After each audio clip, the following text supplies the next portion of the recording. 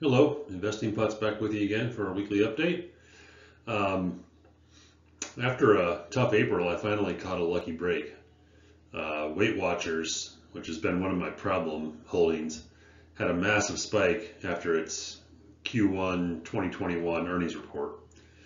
So here's a plot of my portfolio's performance against the SPY and against a 60-40 SPY TLT split.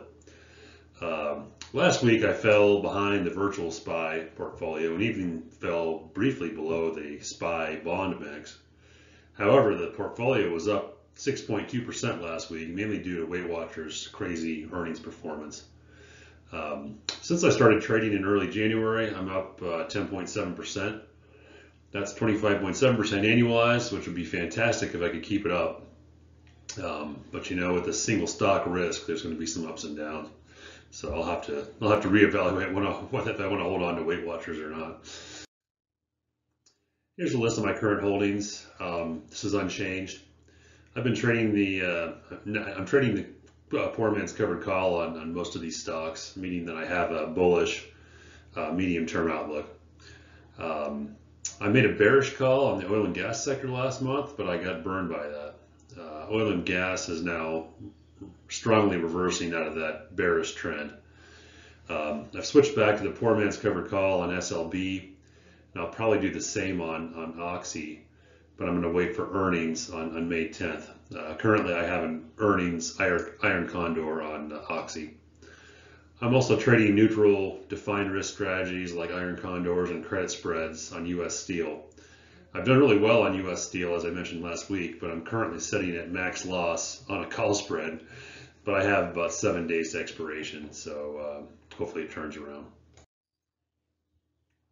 Weight Watchers has been in, in, a, in, an upward trend for seven months, but it's been pretty volatile, which is why the options premiums are so good, and that's why I'm in there in the first place.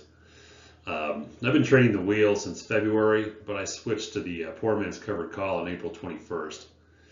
Uh, since I bought the $20 strike leap the stock went against me, and it even briefly uh, went below the 200-day moving average, which is the red curve, before jumping about 40% in two days after earnings.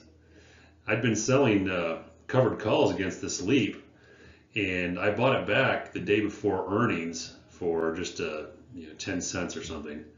And before I could even re-enter that covered call, I waited to the next day, and the next day on earnings, the stock went up 25% and another 10% the next day. So I just rode the wave with my long call and uh, really caught a lucky break on that one. So hooray for me. Here's a performance of the Weight Watchers stock in blue versus uh, my position in red. The poor man's covered call really amplifies the uh, cash on cash return or decline relative to simply owning the stock. So it's nice for preserving buying power, but you know, be warned if everything goes against you, you can you can lose a lot more on a relative basis with a the poor man's covered call. So oil and gas had a great run from October to March. Um, Oxy and SLB nearly doubled in that time. But in March, however, uh, oil and gas went strongly bearish and broke, you know, broke definitively below the 50-day moving average. Uh, I'm long-term bullish in oil but in short term, I went uh, bearish on Oxy and SLB with uh, the poor man's covered put. And both these positions went strongly against me. Um, so I'm back in the poor man's covered call on Schlumberger, and we'll probably do the same on Oxy after they report earnings on, on May 10th. Um, you know, the cost basis is still pretty discounted relative to the peak in March, so I'm okay re-entering the uh, the bullish side on these stocks at these at these prices. Um, so that's all I have for the update. Uh, I'm going to make another video today about, about hedging. Um, so uh, stay tuned for that and would love to hear your comments and, and feedback in the comment section. See you next time.